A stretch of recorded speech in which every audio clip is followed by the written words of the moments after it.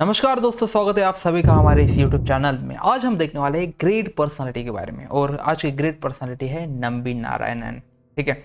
जो कि इसरो के जो है साइंटिस्ट थे, ठीक है? इंडियन एरोस्पेस इंजीनियर थे। तो चलिए देखते हैं इनके बारे में। ये काफ़ी ग्रेट पर्सनालिटी है। ग्रेट पर्सनालिटी इसीलिए है क्योंकि इन्होंने जो एरोस्पेस में है या इसरो में जो है अपना महत्वपूर्ण योगदान दिया है विकास इंजन बना के, ठीक है? तो चलिए चलते आगे। और काफ़ी स्ट्रगलिंग पर्सनालिटी रही है। ये रॉकेटरी मूवी जो है, ये जो है अभी रिलीज़ हो चुका है, ठीक है? तो इसीलिए ये न्यूज़ में है, ठीक है? तो नम्बी नारायण जो थे, ये एरोस्पेस इंजीनियर थे, ठीक है? और इन्होंने इसरो में वर्क किया था, ठीक है? और इनको पद्म भूषण जो है, ये थर्ड हाईएस्ट सिविलियन अवार्ड जो है गवर्नमेंट ऑफ़ इंडिया द्वारा 2019 में दिया गया है, ठीक है? और आगे चलते हैं। The instrumental in a developing Vikas engine that would be used for the first PSLV that India launch. ठीक है PSLV में विकास इंजन को यूज़ किया गया है। ठीक है तो ये विकास इंजन काफ़ी पावरफुल है। ठीक, और ये डेवलप किसके द्वारा किया गया है? यस नंबी नारायण ठीक है चलते चलते आगे। तो इन्होंने जो है ये इंचार्ज थे क्रायोजेनिक डिवीज़न के, कहाँ पे? इसरो में। इसरो में, जो थे नम्बी नारायण क्रायोजेनिक डिवीज़न के इंचार्ज थे, ठीक है? अब क्रायोजेनिक का मीनिंग क्या होता है? तो लो टेम्परेचर पे जो है, ये प्रोडक्शन और बिहेवियर मटेरियल्स का, ठीक है? जो भी मटेरियल्स क्रायोजेनिक इंजन में यूज़ किया जाता है, उसका लो टेम्परेचर में बिहेवियर कैसा है? इसका जो स्टडी है, ये क्रायोजेनिक टर्म में किया जाता है, या फिर फिजिक्स के टर्म में इसको क्रायोजेनिक कहा जाता है। ठीक है? The first engine name Vikas was tested successfully 1985 1985 में विकास इंजन जो था, ये नंबी नारायणन के द्वारा सक्सेसफुली टेस्टेड किया गया 1985 में। ठीक है? ये भी आप अच्छे से याद रखो। इनकी अर्ली लाइफ के बारे में देखते हैं। बॉन्ड इनका जन्म जो हुआ था, ये था ट्वेल्थ दिसंबर 1941 में नागरकोइल त्रावणकोर ब्रिटिश राज के टाइम पे जो था। ठीक है? एजुकेशन प्रिंसटन यूनिवर्सिटी से हुआ था और थ्यागर जर कॉलेज ऑफ़ इंजीनियरिंग से इनका एजुकेशन हुआ और पद्म भूषण से इनको नवाजा गया 2019 में। आगे चलते हैं इनकी करियर के बारे में, ठीक है? करियर इनका सबसे महत्वपूर्ण पॉइंट है और इसी से इनकी लाइफ का जो टर्निंग पॉइंट है ये करियर में ही इनके आता है इसरो में आता है, ठीक है? 1992 बात करते हैं स्टडीज़ कौन सी मैकेनिकल इंजीनियरिंग किया था, कहाँ से? मदुराई से। और इनका करियर जो है ये स्टार्ट हुआ था 1966 1966 में इसरो में स्टार्ट हुआ था एज ए टेक्निकल असिस्टेंट करके, ठीक है? और इनको जो पोस्टिंग था, वो कहा था, Thumba equatorial rocket launching station ठीक है? वहाँ पे टेक्निकल असिस्टेंट करके और काम कर रहे थे। 1966 में इन्होंने अपना करियर स्टार्ट किया था।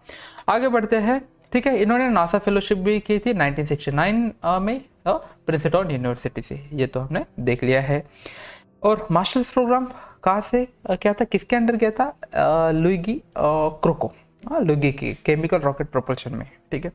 तो ये आ, और ये आ, जो था ये लिक्विड प्रोपल्शन की बात यहाँ पे हो रही है ठीक है? तो मास्टर्स प्रोग्राम कहाँ से? लुगी क्रोको।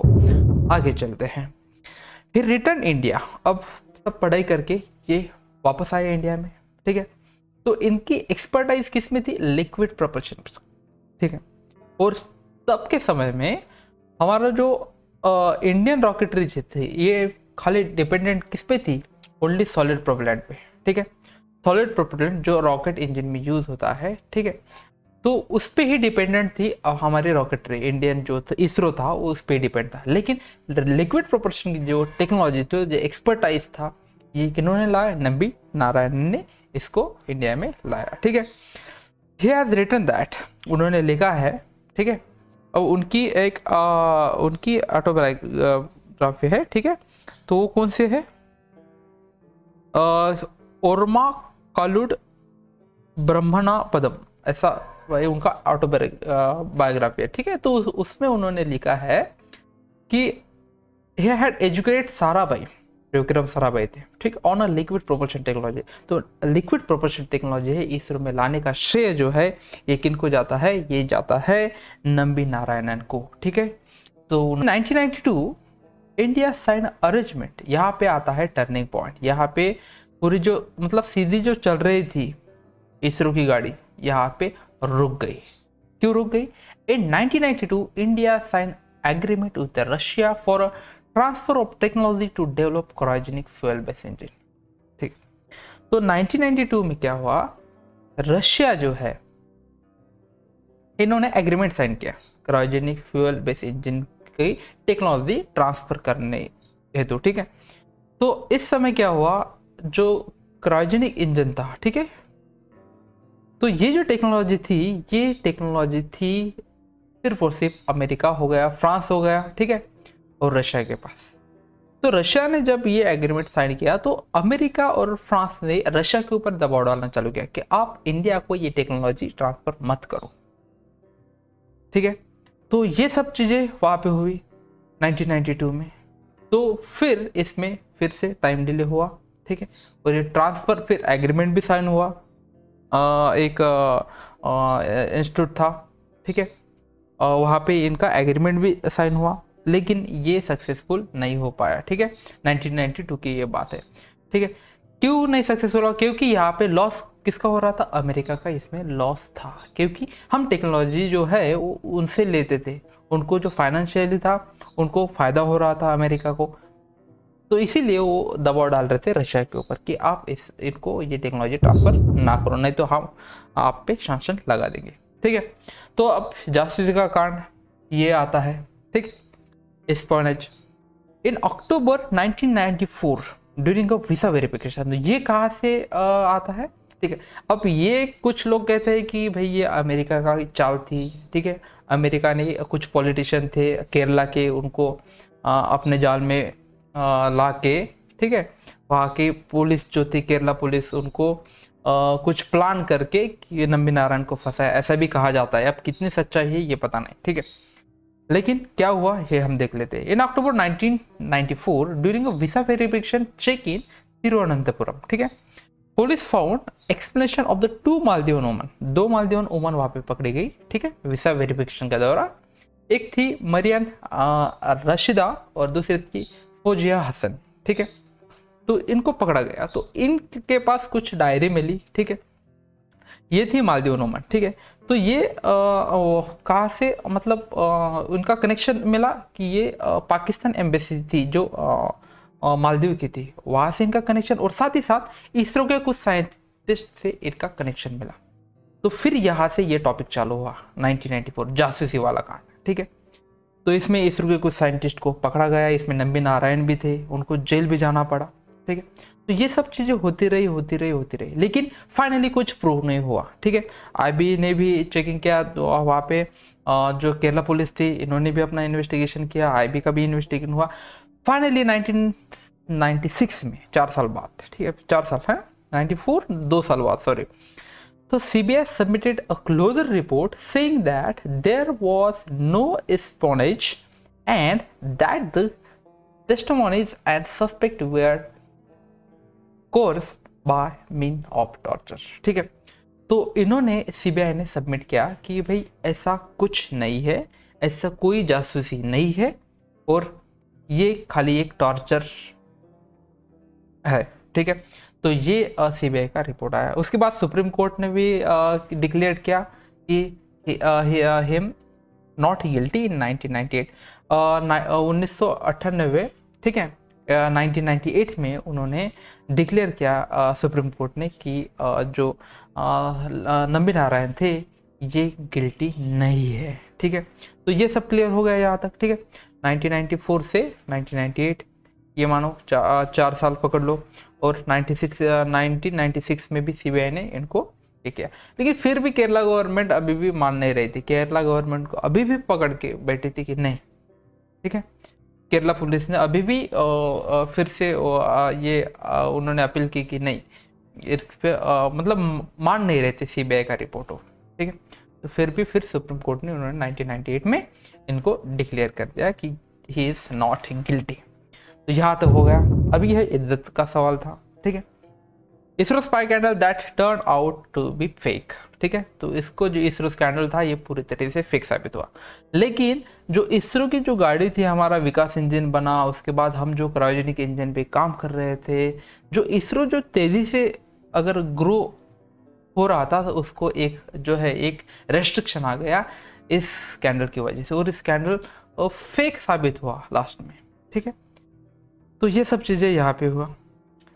तो ये सब होने के बाद जो रिकवर था जो आ, आ, उनकी डिग्निटी थी ठीक है? नम्बी नारायण की आ, जो एक पॉपुलैरिटी थी जो उनकी एक रिस्पेक्ट थी ये तो मतलब इसमें चली गई ये सब चीज़ों में गवर्नमेंट का। अब पता नहीं ये कौन सी चीज़ थी? मतलब क्यों लोगों ने ऐसा किया? ठीक है? जो एक अच्छे साइंटिस्ट थे, जो देश के लिए कुछ करना चाहते थे, लेकिन गवर्नमेंट द्वारा या फिर कुछ लोगों के द्वारा उनको जो है एक स्कैंडल में फंसाया गया और लास्ट में जो है ये फेक साबित हुआ, जो कि ऐसा कुछ स्कैंडल नहीं था।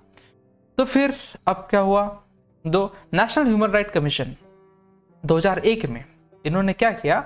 ऑर्डर किया गवर्नमेंट ऑफ़ केरला को to pay him a compensation of one crore एक करोड़ देने की क्योंकि उनकी जो रिस्पेक्ट थी, उनकी जो फैमिली जो थी कि उनको एक तरह देशद्रोही भी घोषित किया था। ठीक है? तो ये सब उनका जो रिकवरी थी, ये होने के लिए पैसों से भी रिकवरी इतना होगा नहीं। फिर भी जो ह्यूमन राइट कमीशन था नेशनल ह्यूमन राइट कमीशन उन्होंने केरला गवर्नमेंट को कि आप इसको, इनको एक करोड़ का जो है ये कंपेंसेशन ज़ाहिर करो, उनको कंपेंसेशन दो। The Kerala High Court ordered a compensation amount of rupees 10 lakh to be paid to Nambi Narayan based on the appeal from the NHRC India in September 2012. और 2012 में देखिए कितना टाइम पास है ये चीज़, ठीक है? 2001 में इन्होंने बोला कि भाई एक करोड़ दो। और फिर केरला गवर्नमेंट क्या कर रहे हैं, ठीक है? केरला हाई कोर्ट ऑर्डर करे टेन लाख कब 2012 में ठीक है? तो ये तो चीज़ थी ठीक है? और एन एच आर सी की जो आ, ये थी उन्होंने ऑर्डर किया था केरला गवर्नमेंट को ठीक है? तो सितंबर 2012 में फिर टेन लाख का ऑर्डर केरला हाईकोर्ट ने उनको दिया ठीक है? और fourteen April 2021 the supreme court अब 2021 देखिए कहाँ तक टॉपिक आया हम्म 2021 मतलब 1992 से शुरू था 2021 तक पहुँचा The Supreme Court of India ordered a CBI probe into involvement of the police officer in a conspiracy. ठीक है तो जो ये पूरा कांड हुआ, जासूसी कांड, इसमें कौन है, क्यों फंसाया गया नंबी नारायणन को ठीक है? और इसमें कौन से कौन से पुलिस ऑफिसर इन्वॉल्व है? केरला गवर्नमेंट भी इसमें इन्वॉल्व है क्या? ये सब चीज़ें चेक करने के लिए सुप्रीम कोर्ट ने ऑर्डर किया 14 अप्रैल 2021 को। तो यहाँ तक ये टॉपिक पढ़ा। ठीक है, और 2000 2019 में जो था 26 जनवरी 2019 को, ठीक है? इनको पद्म भूषण भी गवर्नमेंट ऑफ़ इंडिया द्वारा दिया गया और देना भी चाहिए, ठीक है? क्योंकि मतलब क्यों? अगर कोई आदमी देश के लिए कुछ अच्छा करना चाहता है तो उसके बीच में लोग क्यों आते हैं? क्यों उसको रोकते हैं? हाँ एक तो देश का नुकसान तो हुआ हुआ है। साले उनका पर्सनल नुकसान कितना हुआ? फैमिली का नुकसान। एक देशद्रोही घोषित कर दिया है उस व्यक्ति को। हाँ तो ये सब चीज़ें नहीं होना चाहिए। फिर भी लोग पता नहीं है कुछ फ़ायदे के लिए, कुछ पैसों के फ़ायदे के लिए ये सब चीज़ें करते हैं और सबसे बड़ी रोक जो है, ये लगा देते हैं। देश की जो ग्रोथ है उसके ऊपर और साथ ही साथ जो आदमी कुछ करना चाहता है देश के लिए उसके ऊपर भी। ठीक है? The apex court is also constituted the committee headed by retired supreme court जज D K Jain to inquire into a role of official of Kerala police in the arrest of Narayan ठीक है? तो ये भी जो हाँ यही बात है सुप्रीम कोर्ट ने बोला। कहा है कि केरला पुलिस का कुछ रोल है इसमें तो क्या है उसको इंक्वायरी बिठाया जाए, उस क्या जाए और जो इसमें दोषी है, उनको दोष मतलब उनको सजा दे दिया है, ठीक है? क्योंकि नंबे नारायण ने जो भुगता है, या फिर पूरा देश ने भुगता है, ऐसे भी हम कह सकते हैं, ठीक है? क्योंकि हमारा जो इसरो की जो ग्रोथ थी, वो पूरी तरीके से खत्म कर दी उस समय, कुछ समय के लिए, ठीक है? और ये तो आपको पता है पद्म भूषण मिला, ये अच्छे से आप याद रखो। और द फ़िल्म रॉकेटरी रॉकेटरी, ठीक है? ये the Nambi effect is based on his biopic, ठीक है? तो ये जो फ़िल्म है? हम्म, जो रॉकेटरी फ़िल्म जो आ रही है ये किसके द्वारा है? ये डायरेक्टेड की है आर माधवन द्वारा ठीक है? को directed by the Prakash Sen ये फ़िल्म रिलीज़ हो चुकी है आप इसको जाके देख भी सकते हैं ठीक है? तो थैंक्स फॉर वॉचिंग यहाँ पे हमारा लेक्चर खत्म होता है। तो चैनल को अगर अच्छा लगा आपको तो सब्सक्राइब करें और लाइक शेयर करना तो बिल्कुल मत भूलें। जय हिंद जय भारत।